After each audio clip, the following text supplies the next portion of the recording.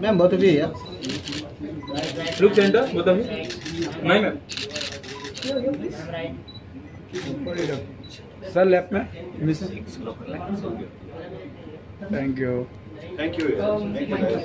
Thank you so much.